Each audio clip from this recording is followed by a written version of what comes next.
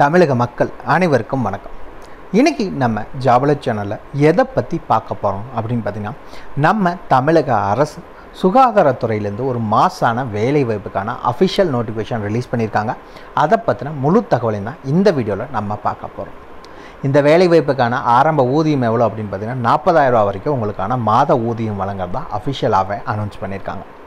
இந்த வேலைவாய்ப்புக்கு நீங்கள் minimum twelfth diploma degree post graduate BDS வரைக்கும் படிச்சிருக்கவங்க இந்த வேலைவாய்ப்புக்கு நீங்கள் அப்ளை பண்ணுறதுக்கு எலிஜிபிள் இந்த வேலைவாய்ப்பை பொறுத்த வரைக்கும் எந்த ஒரு தேர்வும் கிடையாது. அதே மாதிரி தேர்வு கட்டணமும் இந்த வேலைவாய்ப்புக்கு கிடையவே கிடையாது.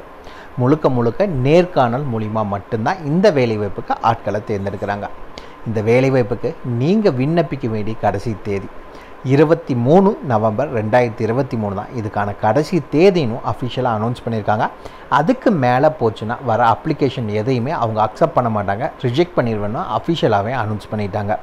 இப்போ பார்த்தீங்கன்னா மாவட்ட வாரியாக ஒவ்வொரு டி மாவட்டத்துக்கும் இப்போ இந்த நோட்டிஃபிகேஷன் ரிலீஸ் பண்ணிக்கிட்டே இருக்காங்க. ஸோ இன்னும் நம்ம சேனலை சப்ஸ்கிரைப் பண்ணாதவங்க மறக்காமல் சப்ஸ்கிரைப் பண்ணுங்கள் அப்போ தான் உங்கள் மாவட்டத்தில் வர நோட்டிஃபிகேஷனை உடனுக்குடன் உங்களால் தெரிஞ்சுக்க முடியும்.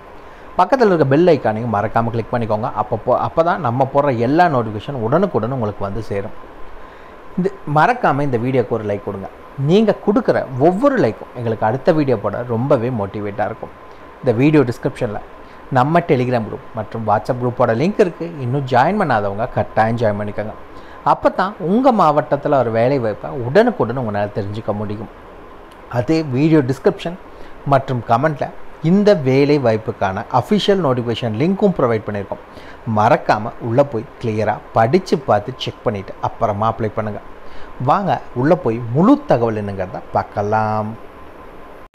மக்களை பார்த்தீங்கன்னா இதுதான் இந்த வேலைவாய்ப்புக்கான அஃபிஷியல் அப்ளிகேஷன் ஃபார்ம் ஓகேங்களா இந்த இடத்துல மறக்காமல் உங்களுடைய ஃபோட்டோ ஒட்டிக்கோங்க. இந்த இடத்துல மறக்காமல் நீங்கள் என்ன போஸ்டிங்க்கு அப்ளை பண்ண போகிறீங்க அப்படிங்கிற டீட்டெயில்ஸை மறக்காமல் கிளியராக மென்ஷன் பண்ணிக்கோங்க. இந்த இடத்துல விண்ணப்பதாரின் பெயர். உங்களுடைய பெயர் என்ன அப்படிங்கிறத கிளியராக மென்ஷன் பண்ணணும்.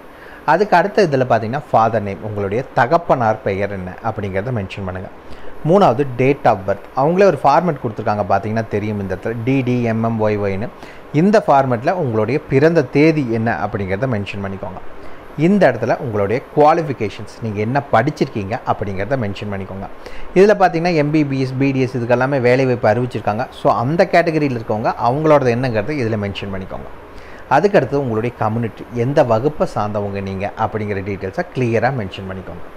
அதுக்கு கீழே அப்படியே வந்தீங்கன்னா உங்களுடைய இப்போ நீங்கள் இருக்க தற்போதைய முகவரி ரெசிடென்ஷியல் அட்ரஸ் என்னென்னலாம் மென்ஷன் பண்ணணும் அப்படின்னு பார்த்தீங்கன்னா டோர் நம்பர்லேருந்து பின்கோடு வரைக்கும் எல்லா டீட்டெயில்ஸும் கிளியராக மென்ஷன் பண்ணிக்கோங்க. ஓகேங்களா அதுக்கடுத்து உங்களுடைய ஆதார் கார்டோட நம்பர் உங்களோட ஆதார் அட்டையில் இருக்க நம்பரை ஜஸ்ட் மென்ஷன் பண்ணால் போதும். அதுக்கடுத்தது உங்களுடைய மொபைல் நம்பர் என்ன? ஒன்றுக்கும் மேற்பட்ட மொபைல் நம்பர் இருக்குன்னா கட்டாயமாக அந்த நம்பரை மென்ஷன் பண்ணிக்கோங்க. அதுக்கடுத்தது மின் அஞ்சல் முகவரி. ஓகேங்களா உங்களுடைய இமெயில் ஐடி அது இருந்துச்சுன்னா கம்பல்சரி மென்ஷன் பண்ணுங்கள் அதுக்கடுத்தது எங்கேயாவது முன் அனுபவம் ஏதாவது இருந்துச்சுன்னா அதுக்கான டீட்டெயில்ஸை இந்த காலத்தில் மென்ஷன் பண்ணிக்கோங்க. அதுக்கடுத்து பார்த்தீங்கன்னா இந்த கோவிட் பீரியட்லாம் நீங்கள் எல்லாம் ஏதாவது ஒர்க் பண்ணியிருந்தீங்க அப்படின்னா எங்கே ஒர்க் பண்ணியிருந்தீங்க எந்த கேரில் ஒர்க் பண்ணியிருக்கீங்க அப்படிங்கிற டீட்டெயில்ஸை மென்ஷன் பண்ணுங்கள் இருந்துச்சுன்னா மென்ஷன் பண்ணுங்கள் கீழே இந்த இடத்துல பிளேஸ் மற்றும் டேட் இடம் மற்றும் நாள் என்ன அப்படிங்கிறத தெளிவாக மென்ஷன் பண்ணிவிட்டு இந்த இடத்துல அப்ளிகன் சிக்னேச்சர் அதாவது விண்ணப்பதாரரின் கையொப்பம். மறக்காமல் போட்டு அனுப்புங்க. இந்த இடத்துல போடாமல் அனுப்பிச்சிடாதீங்க. சிம்பிளாக ரிஜெக்ட் பண்ணிவிட்டு போயிடுவாங்க. இவ்வளோ தான் சிம்பிளாக நீங்கள் அஃபிஷியல் அப்ளிகேஷன் ஃபார்மை டவுன்லோட் பண்ணிக்கலாம். வீடியோ டிஸ்கிரிப்ஷன் லிங்க் இருக்குது டவுன்லோட் பண்ணி பிரிண்ட் அவுட் எடுத்துக்கோங்க. இந்த ஆல்ரெடி நம்ம சொன்ன எல்லா டீட்டெயில்ஸும் கிளியராக மென்ஷன் பண்ணி அனுப்பிச்சிங்கனாலே போதும். வாங்க அஃபிஷியல் நோட்டிஃபிகேஷனை பற்றின முழு தகவலையும் பார்க்கலாம். மக்களை பார்த்தீங்கன்னா இதுதான் இந்த வேலைவாய்ப்புக்கான அஃபிஷியல் அப்ளிகேஷன் நோட்டிஃபிகேஷன் இதுதான். ஆல்ரெடி அப்ளிகேஷன் ஃபார்ம் பார்த்துட்டோம். அந்த அப்ளிகேஷன் ஃபார்ம் கூட நீங்கள் என்னென்னலாம் வச்சு அனுப்பணுங்கிற டீட்டெயில்ஸை பார்த்துடலாம். ஃபஸ்ட் இந்த இடத்துல எடுத்துனே மென்ஷன் பண்ணியிருக்காங்க. அப்ளிகேஷன் ஃபார்ம் ஃபஸ்ட்டு வேணும். ரெண்டாவது உங்களுடைய டென்த் அல்லது டுவெல்த் மார்க் ஷீட் அதுக்கு அடுத்து பார்த்தீங்கன்னா டிகிரி அந்த வேலை வாய்ப்புக்கு பிஜி எல்லாம் படிச்சிருக்கவங்க கேட்டிருக்காங்க. அதுக்கு அதில் இருக்கவங்களுக்கு அந்த சர்டிஃபிகேட் வைங்க. ஏதாவது ட்ரைனிங் எக்ஸ்பீரியன்ஸ் இருந்துச்சுன்னா வைங்க. ஒர்க் எக்ஸ்பீரியன்ஸ் இருந்துச்சுன்னா வைக்க சொல்லியிருக்காங்க. கம்யூனிட்டி சர்டிஃபிகேட் இருந்துச்சுன்னா வைக்க சொல்லியிருக்காங்க. இப்போ நீங்கள் இருக்க அட்ரஸ்க்கான ப்ரூஃபுக்கு இந்த நாளில் ஏதாவது ஒன்று அதாவது நேட்டிவ் சர்டிஃபிகேட் ரெவன்யூ டிபார்ட்மெண்ட்லேருந்து கொடுத்த நேட்டிவ் சர்டிஃபிகேட் அப்படி இல்லைனா ஓட்டர் ஐடி அப்படி இல்லைனா ஆதார் கார்டு அப்படி இல்லைனா ரேஷன் கார்டு இதில் ஏதாவது ஒன்று கம்பல்சரி நீங்கள் வைக்கணும். அதுக்கு அடுத்தது பார்த்தீங்கன்னா சர்டிஃபிகேட் எதுக்கு அப்படின்னு பார்த்தீங்கன்னா டிஃப்ரெண்ட்லி உடுமல் உடல் ஊனமுற்றோர் அவங்க அப்படின்னா அதுக்கு வைக்கணும். அதுக்கு அடுத்தது ட்ரேஸ் ஜெண்டர் ஓகேங்களா? அவங்க கம்பல்ஸ் அவங்க அப்ளை பண்ணுறீங்கன்னா கவர்மெண்ட்டில் கொடுத்து ப்ரூஃப் வைக்கணும்.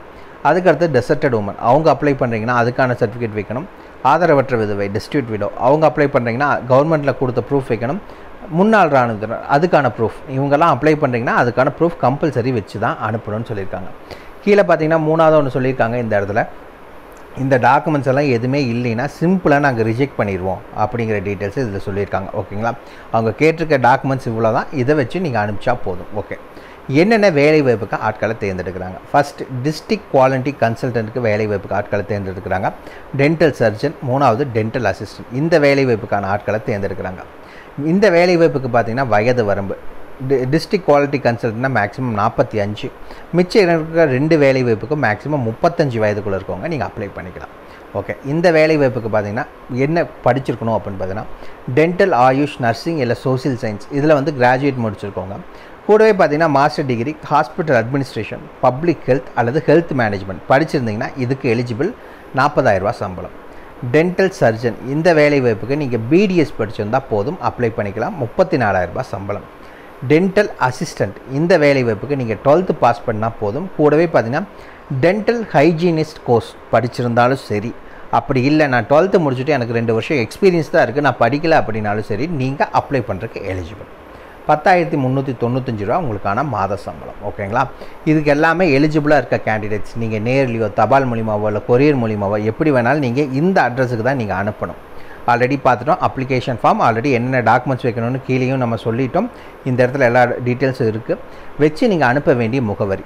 The executive secretary deputy director of health science district health society the deputy director of health services Dharmapuri six three six seven zero five இந்த அட்ரஸுக்கு நீங்கள் தபால் மூலிமாவோ நேரிலையோ இல்லை கொரியல் மூலிமா எப்படி வேணாலும் நீங்கள் கொண்டு போய் சப்மிட் பண்ணிக்கலாம். இதுதான் அதுக்கான அஃபிஷியல் அட்ரஸ் வீடியோ டிஸ்கிரிப்ஷன் மற்றும் கமெண்ட்டில் இதுக்கான லிங்க் கொடுத்துருக்கோம். மறக்காமல் உள்ளே போங்க. அப்ளிகேஷன் ஃபார்மை டவுன்லோட் பண்ணிக்கோங்க. அப்ளை பண்ணிக்கோங்க. ஓகே மக்களே இந்த வீடியோ பிடிச்சிருந்த மறக்காம லைக் கொடுங்க. உங்கள் நண்பருக்கு யூஸ்ஃபுல்லாக நான் கட்டாயம் ஷேர் பண்ணுங்க. உங்களுக்கு ஏதாவது டவுட் இருந்துச்சுன்னா மறக்காம கீழே இருக்க கமெண்ட் பாக்ஸில் கமெண்ட் பண்ணுங்கள் உங்களை நாளைக்கு நான் வேறு சூப்பரான வீடியோ மூலியமாக சந்திக்கிறேன். மிக்க நன்றி.